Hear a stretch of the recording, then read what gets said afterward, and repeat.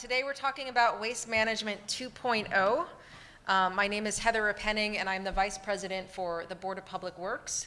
Um, and I uh, am our board liaisons to um, LA Sanitation. So I work uh, uh, very closely with um, our sanitation agency at the city of LA. Um, and, you know, uh, talked with the organizers here uh, at uh, the VerdeXchange about doing a panel to highlight um, kind of the future of, of how we're handling waste. Um, I really wanted to talk about food and organic waste, and I really wanted to talk about um, the energy nexus in relation to waste management as well. So we're going to be touching on uh, those topics today. Um, I am very pleased to be joined by some uh, great people. Um, I'll start with Claire Fox on my left. Um, she's the executive director of the LA Food Policy Council. Um, and in this role, she collaborates with a large network of public, private, nonprofit, and community leaders to catalyze policy and systems change for a sustainable and fair food system. Um, I've had the opportunity to work with Claire on a number of projects, including um, accepting uh, EBT or food stamps at farmers markets, um, including uh, she's very active in our food waste task force, um, and she is just a great person working uh, with us in, in LA. Um, we're also joined by, uh, by Paul Relis. Um, he is the Senior uh, Vice President of CR&R Incorporated. Um, they are the developer and operator of one of the world's largest anaerobic digesters, uh, digester to renewable gas projects in the world. It's located in the city of Perris in Riverside County. Um, we're going to be hearing from him uh, on that project and generally uh, on the topic of, of waste, renewable energy. Um, and we are also joined by Mark Neidham, uh, all the way from New York. Um, he's president and CEO of Green Conversion Systems and an operating partner at Wave Capital. Green Conversion Systems is introducing a Waste 2.0 technology into the California market that results in 90 to 95% waste diversion from landfills and produces a fuel that replaces coal.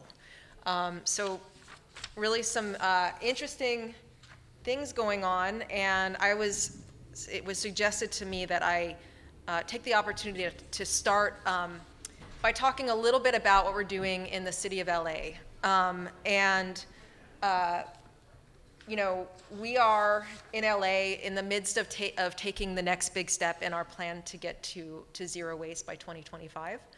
Um, and so we're, we're basically rolling out a, a, recycling program. It's called RecycLA.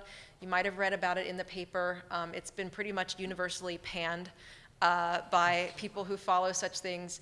But um, I'm here to tell you that, you know, I really believe in, in what we're doing. And, you know, we've, there are some things that, uh, that are, are problems with the program.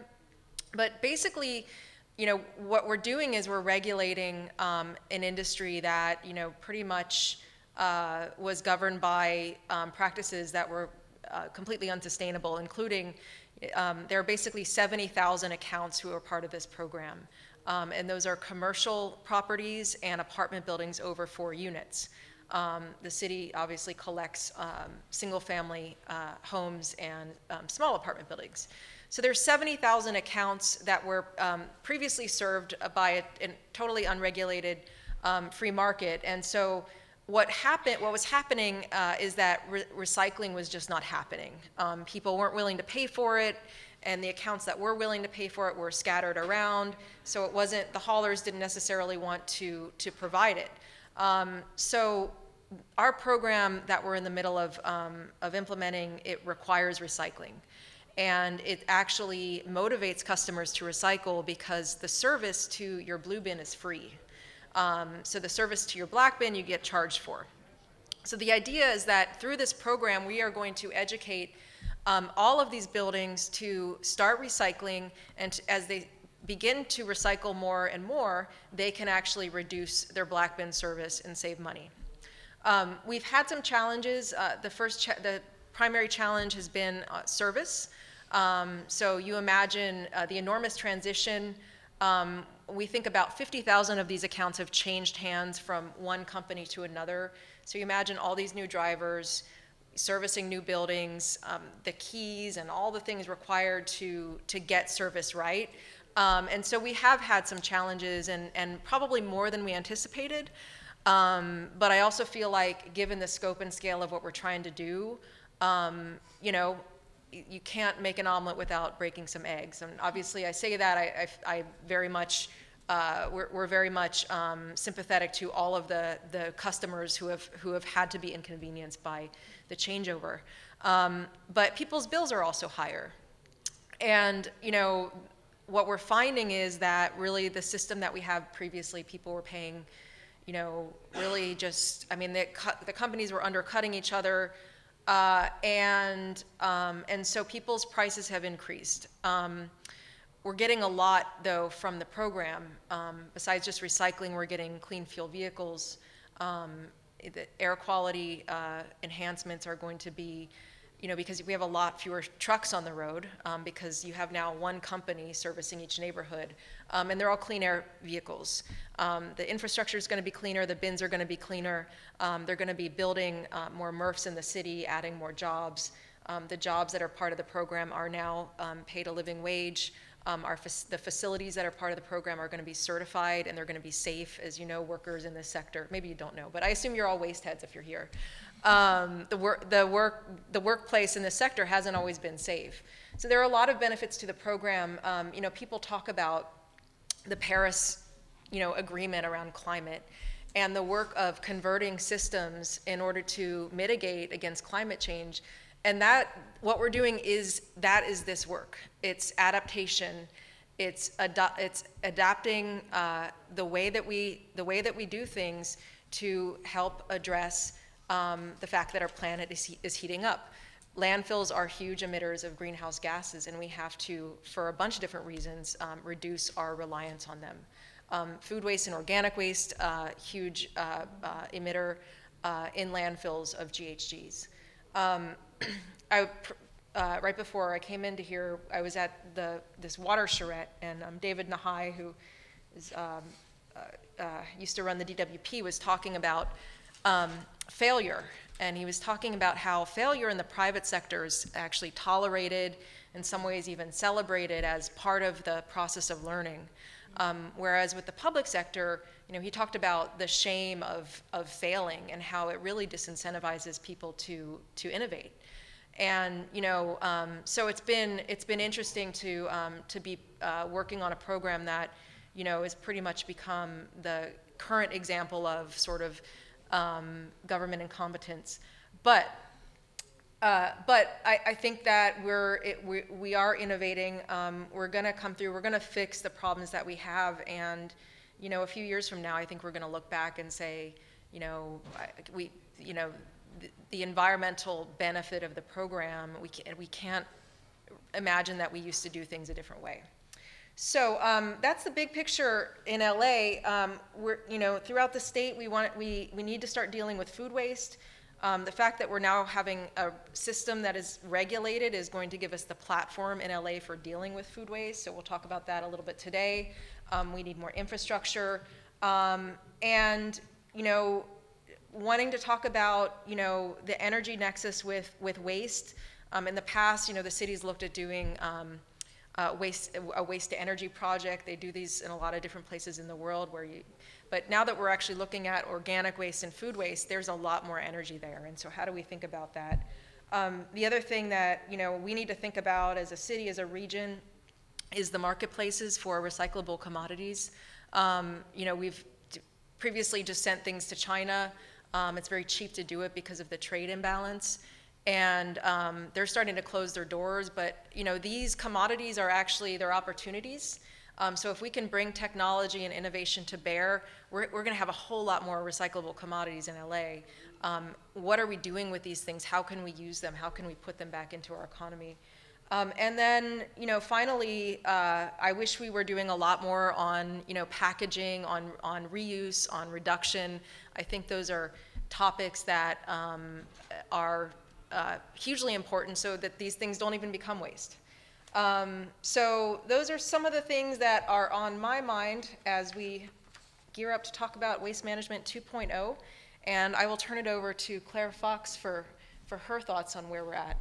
Okay. All right. Thank you, Commissioner Penning. Hi. Good afternoon, everyone. How are you? Yeah, hanging in there. Good. All right. Um, well, it's great to be here with all of you. Um, my name is Claire Fox. I'm the executive director of the Los Angeles Food Policy Council.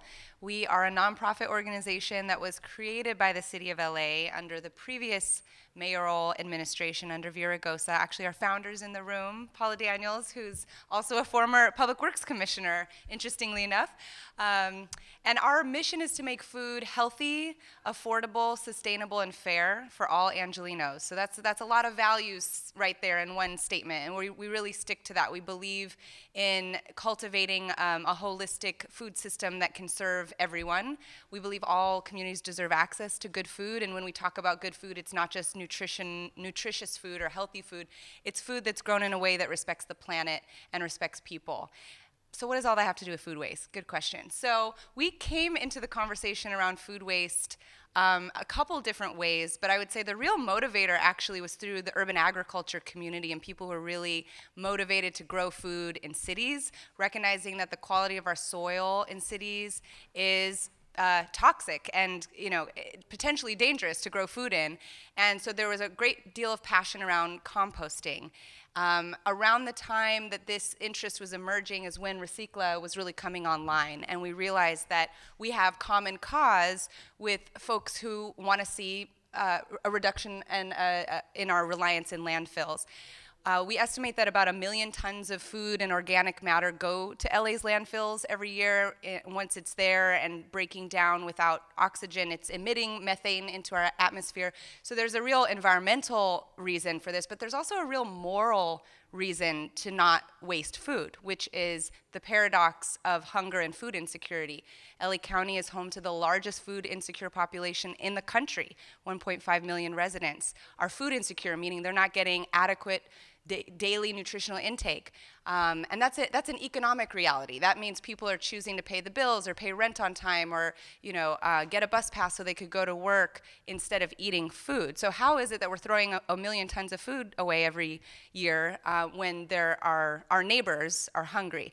So, so we sort of come into this conversation around, okay, so then what do we do about it? How do we prevent food? If food is still edible, it needs to be salvaged, rescued, recovered, and brought to places where it can be put to use and feed people, feed Angelenos. So there's a great deal of work happening around that, around food recovery, which is, you know, it, it could be anything from gleaning, from backyards, from farms, from farmers markets, from the produce terminal market, food that is maybe cosmetically imperfect or for a variety of other reasons is not going to make it to market and making sure that it's going to hunger relief sites like shelters and food banks. Um, and then the other piece of it is when food is no longer edible, it's still a resource, right? All the water, all the energy, all the labor that went into the cultivation of that food is resource that can be recaptured. So in our community, in our network, we, we have what I call the food waste working group, but actually they are they want to be called the Food Rescue and um, how what do they call themselves? Food Rescue and Recovery Working Group because we don't want to use the word waste anymore. We really think it's important to reframe the way that we think about food itself from farm to fork and beyond, that it's always a life resource. So that's where we get into sort of the world of composting and community composting. So through um, RecycLA in particular, we've seen an opportunity to create a new sort of civic infrastructure um, and awareness around food recovery. In particular, uh, one shining light, I think, of RecycLA, just to lift up something positive here about the program, is that now um, businesses are off, food businesses are given resources about how they can donate food. And this is really critical because there's a lot of misconception. Uh, there's a lot of fear of lawsuits. Uh, the Good Samaritan Act federal legislation protects industries, businesses from donating, uh, uh, from lawsuit if they donate food in good faith and, and with best practices. So now what we're seeing is the waste haulers through RecycLA and the city of Los Angeles partnering with food recovery organizations to create that sort of second layer of food recovery infrastructure to support caterers, banquet halls, restaurants who have leftover food that's still edible, that's still safe to eat, to be able to donate it to hunger relief sites. Um, another example I think of, of where we see this intersection of food waste and food insecurity and broader food policy issues is through an effort called LA County to, to trash your food or to, to throw it away. So those are some of the ways that we show up for this conversation. I look forward to digging into it more. Thank you, Claire. um, Paul, why don't you tell us what is going on out there in Perris? Yeah, I'm gonna have that, I'll stay here. I think you, you could just put up that image, please, okay. Thanks, everyone. Um, Let me start by just asking, how many here are local or LA-based? Uh, Okay, okay, good. Um, I represent a company uh, that has been in the waste industry for about 50 years, family-owned, that grew with Orange County. It's now uh, one of the larger privately held waste companies in the U.S. We have about 1,500 employees, and we operate about a 1,000 heavy-duty trucks, so it's, it's, it's got scale. Um, uh, What I want to share with you is the path we took to looking down the road, far down the road, and said, how could we build a post-landfill technology? I used to regulate the waste industry, so I have some background. Uh, How do we do that? Um, And that question came up about 15 years ago. Began a long arduous path to look for a system that might work, that might recycle particularly organic waste, because we saw that as the, the area that had not been attended to. Um, after a long search, about five years ago, we began uh, construct. Uh, five years, we settled on anaerobic digestion uh, as our path, and our path was going to combine anaerobic digestion to produce renewable gas, to power our truck fleet, and to produce soil product from the process of anaerobic digestion. So what I'd like to do is um, highlight, here's an image uh, pretty much of what the facility looks like today. Uh, There are four tanks or those white um, tops. There are actually two of them built. There will be two more additionally. But other than that, it pretty much looks like that. It's a big facility on a 52 acre site in the other Paris, P E R R I S, California, um, in Riverside County, which is the center of our fleet operations down there.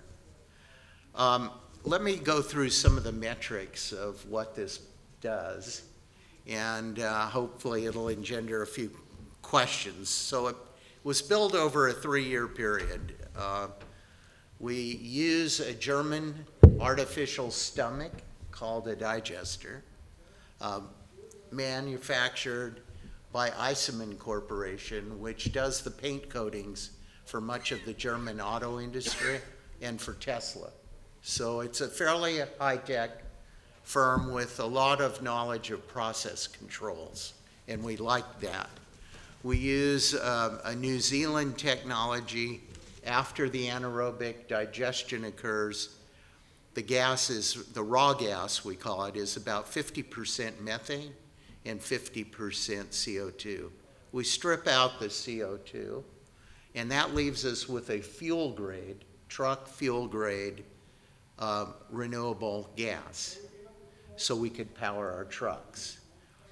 We have been using that gas and been operating for about a year now. And we will just begin today or tomorrow injecting that gas into the natural gas grid using the SoCal gas infrastructure. So we had to build a mile and a quarter pipeline and go through some serious rigmarole to uh, do that. We're one of the first to inject in the pipeline. Our purpose in this whole, and then we use a California, Southern California based engineering firm for building the plant. They're they've built wastewater facilities, so that's kind of, w- we call ourselves a wastewater plant on steroids. Um, And then we use a local um, Orange County engineer architectural firm. So um, the team has now worked together about three and a half years, very, very well. A a wonderful partnership. So what are our products? What do we get out of this effort? Uh, We get renewable gas. Um, We take in about 400 tons per day of source-separated green waste and food waste. Like, how many of you have a green can for your organics? So imagine the green can, and you toss in, you can toss in food waste now. So um, we can. in certain parts of the city. Yes, I don't know, how- yes. So um, we bring that material to our facility where we built a one-acre green sorting because what we think this is all about is quality control. So we've invested 5 million just in sorting, further sorting what's already supposed to be sorted green and food waste. From this input, we get about 6,000 diesel equivalent gallons a day. And that translates into enough fuel to operate about 150 heavy-duty waste recycling trucks per day. And about 280 tons per day of soil product. That soil product is co, or we call it digestate. The digestate is co-composted with green waste. In a few cases, we land apply it for cover crop, for uh, feed for the dairy industry in the neighboring areas. So the dairy industry is only about 20 miles away from the facility. So imagine then all the waste is sorted, sourced, most of it Riverside County, comes to this facility. The fuel is utilized locally, and so is the soil product. So it addresses this uh, attempt. We're not shipping material 8,000 miles, say, to China and so forth. It's a closed system. Um, on a carbon intensity index, the facility, um, the, the fuel, the truck fuel combination is a carbon negative by about minus 32 using the state of California's carbon intensity index. So technically, it's taking carbon out of the atmosphere. Uh, and those numbers are from CARB. It reduces the engine reduction is about a 60% reduction in NOx. So that's the smog precursor and a very important mission. We spent about 55 million so far on the two phases of what we expect will be a little over a $100 million facility at full build out. 20% of the cost is public, 80% private by, by our company off our balance sheet. Now, I think the most important facet I want to underpin is public acceptance of technology. Our team had to go out and market something this new to city councils who had never encountered any technology like this. Our first city that we won a contract with was Costa Mesa. Most of the cities that have agreed to um, uh, use our facility are um, inland empire cities, fairly conservative. We've had over 100 votes by city councils, not one negative. Why? It's kind of, I call it the back to the future story.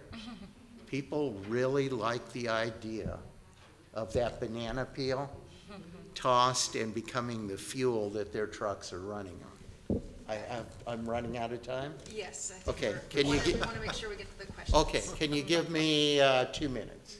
Can you, can you do it in 30 seconds? 30 seconds, well, okay, I'm just about there. So um, I think I'll just, uh, you've got the general idea, I think I'll stop there. I- But I- with one add, we do have a program that ties into your type of program to intercept the food waste that would otherwise, is edible and not go into this system. That is uh, a very interesting project, um, Paul, and, and uh, obviously, the city of LA, we're, we're working Yes, with you guys to that's right. start sending right. some of our, and testing out using our green bin, which normally is just for yard waste, for food as well.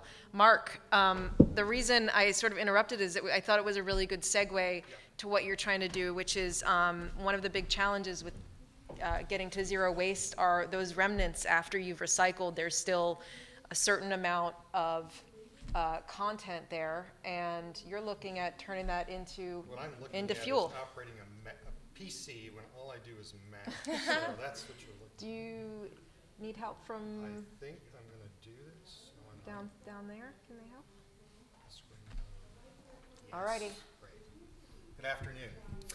My name's Mark Neidham. I'm uh, president and CEO of a company called Green Conversion Systems. Um, And we were formed, uh, we were formed about seven years ago. uh, And um, along with another company whose technology we're currently using called Accordant. And we're, we are in existence to basically address a basic, a basic problem the world has, which is it's producing a lot of waste. Um, if you look at projections to 2025, uh, for example, Asia is going to produce two and a half times more waste than it does now. Uh, the U.S. is going to produce about 20% more waste than it does now. Waste keeps growing. At the same time, we've got to do something with that because of the greenhouse gases that have been mentioned already.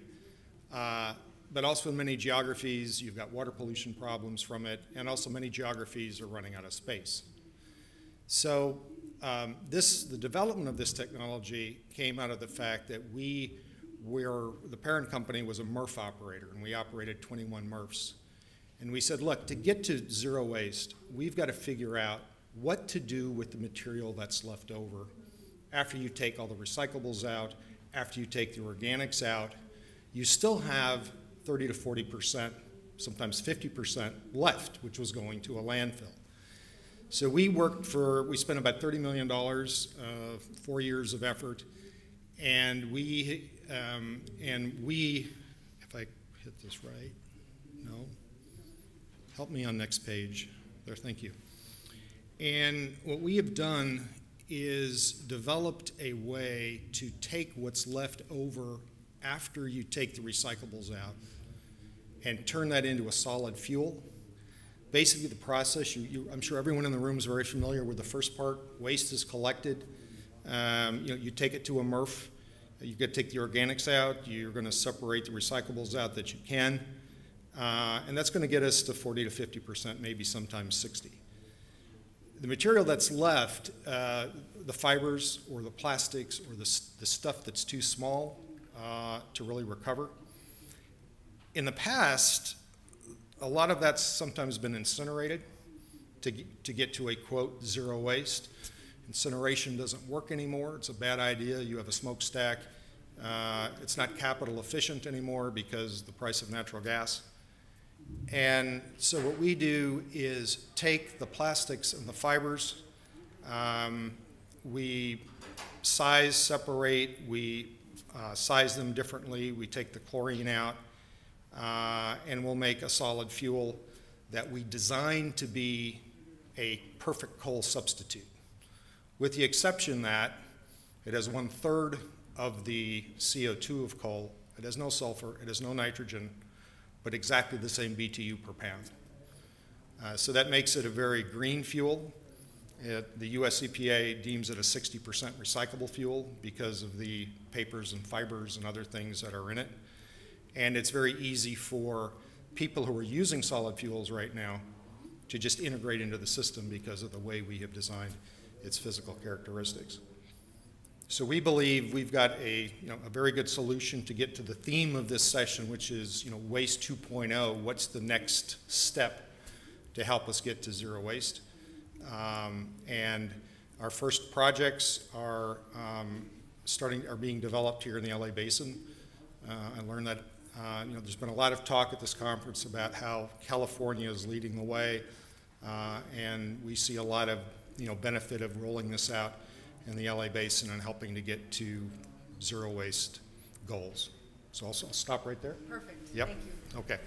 Um, okay, so uh, I think I will ask. Um, I'll ask everyone the same question, and if you could keep your um, uh, uh, response um, brief, then we'll open it up um, to to you guys for any questions you might have.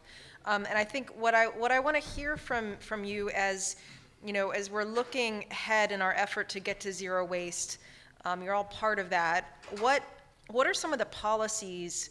um, that we should be working on uh, in order to to get uh, to zero waste.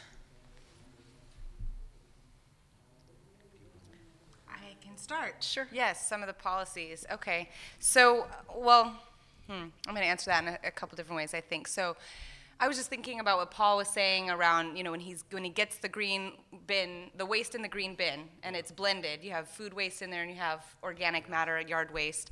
It's really important if we're going to effectively capture waste and reclaim the resource that we do have clean streams, um, and that people on the user end know what's going on and, and what to put where.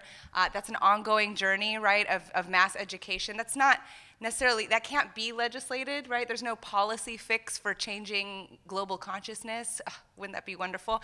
But uh, i do think that's really critical when we're talking about waste 2.0 is that we are talking about uh, a, a new kind of mass mobilization of civic participation and awareness um, so that we're able to create these new, essentially, product streams, right, that can be upcycled into different products. And um, I think about one of my favorite examples over the year of a really out, outside the box uh, example of a food waste related business stream was this company out of Santa Barbara that was growing crickets for cricket protein, like cricket bars, which I guess are super popular among athletes and you know other people who want a lot of protein in their diet. And he was growing, producing, mass producing crickets on extremely clean food waste streams, right? So think like juice pulp. It's not contaminated with anything else.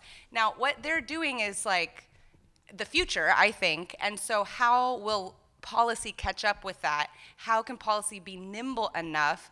I think what the city has done with RecycLA is critical in terms of leveling the playing field and really creating a new set of standards in terms of environmental standards and labor standards, and we have to also hold space for that for that place of innovation because especially when it comes to reclaiming resources and upcycling them into new products it's going to be rapid evolution. New technologies are going to come online all of the time. So when i think about policy i think about that you know where's the room for for nimble innovation and also how are we doing mass education and engagement of the public um, and i just want to say really quickly too that cities can help foster this through um, encouraging communities themselves to innovate, which Commissioner Repenning, I think, has done a great job um, leading on this effort in terms of the food, food waste grant challenge. The first time the city of LA ever did a food waste grant challenge, basically giving uh, micro grants 7,000 to $15,000 grants to neighborhood groups to engage other Angelenos in getting food out of, of landfills. A lot of incredible community compost projects, school gardens compost projects,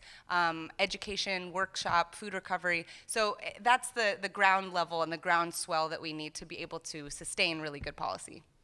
Thank you, Claire. Um, Paul, what are your thoughts on, on Well, I'd like to start and echo the, the need for education. Um, California has begun a huge shift to get organics out of landfill. As far as I can tell, there's no education component. When we implemented AB 939, the recycling law, you had to prepare an education component as part of your plan. So we lack that. We need education. We need LA.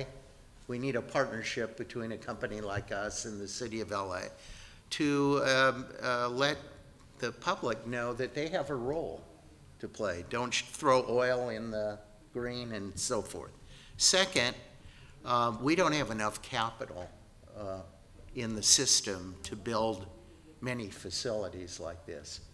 We uh, were able, fortunately, to get the cities to pay about two to two fifty per household per month, which is the bedrock. That plus the long-term nature of our contracts gives us a fighting chance to build a project. Then the state had grants.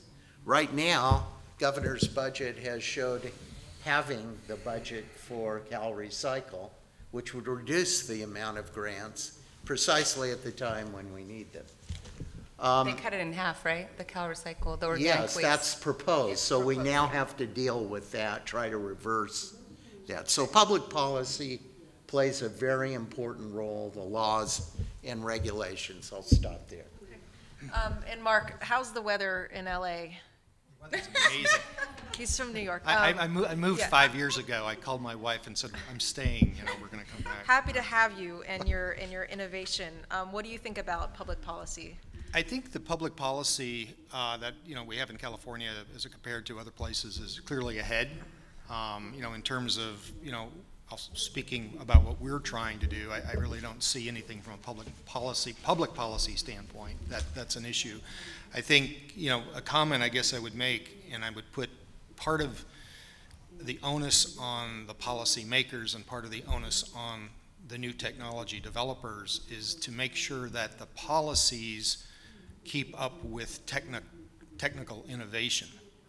Uh, for example, our technology is not well covered or well, um, you know, fits, doesn't fit really well within current California reg. But I think, you know, it, it's on both the new technology developers and the policymakers to talk to each other, right? We're a team, we're not competing, and to make sure that, you know, for example, if we have a technology that's going to get, help get California to 90, 95%, maybe 100% waste diversion, that we work together to make sure that the, the public policy and the other policies are, uh, you know, can help make that happen. Um, Thank you all. Uh, We have a few minutes to, to hear from you, your burning questions. Yes, ma'am. Hi, um, my name is Anna, I'm with Era, and I have a question as to, um, if you think about the circular economy and some of these models for, uh, instead of just purchasing light bulbs or carpet, there's like a lease model, where then, um, the manufacturer is required to sort of give you that service and then take that material back. How do you think if that could be implemented, that would influence the waste streams or make some of your end uses of those products easier. I guess it, it, I haven't seen it for food. um, yeah, and second, I live in West LA, and where can I compost? Oh, the website, please. Okay, well, uh, uh, on the circular economy, it, it, um, I'm not sure that this completely answers your questions, and, and maybe someone has a better answer. I've been thinking a lot about like Amazon. I mean, they're reading so much cardboard. How do we get these companies that are shipping all this stuff to take back their cardboard and use it again? Um, in terms of composting, you know, we don't, uh, right now, we don't have um, community composting sites. They've done it in New York, um, and we're really trying to, to do that in LA. Uh, Claire mentioned the food waste um, challenge grants. We, we funded a project in, in each region of LA, so we are going to have a, a project up and running in West LA. I can send you the info. Um, it'll be a pilot, which hopefully will keep going beyond um, the cycle of the grant.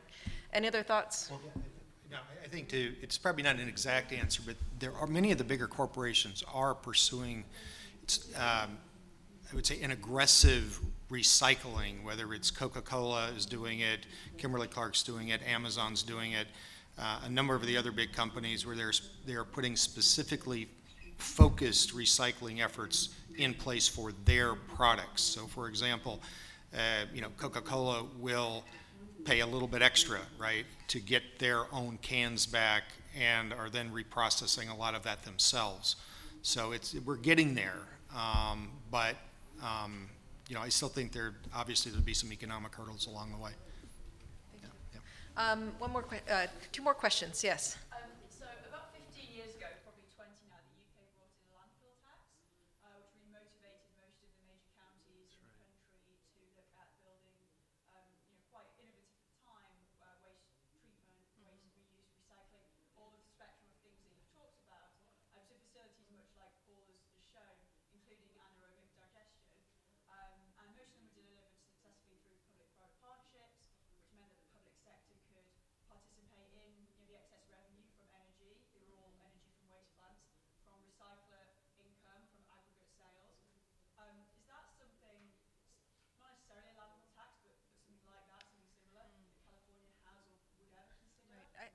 in general, um, the price of tipping at the landfill is way lower than it should be. But people, you know, uh, may, I'm interested to see, Paul, if you have any thoughts on this, but people, I mean, going through this right now with our recycling program, you know, to peop, to see their, their rates go up, I mean, that people are resistant. It's like anything, it's like a gas tax. I mean, it's, it, It comes down to education, right? Because, you know, if, if I'm, you know, if I'm a resident, maybe I don't make a lot of money, right? Um, And now suddenly my, I gotta pay more to get rid of my trash. I mean, it's, it, it's a tough political sell and gets back to education that we've been talking about up here. Yeah, the, um, we were never able to get a landfill tax. I used to kind of lust for that. because That, that would be the quickest way to pay for a tremendous amount of infrastructure.